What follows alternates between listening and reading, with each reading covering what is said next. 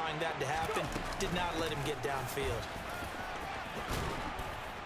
And a good run here. Is Big run for Barry.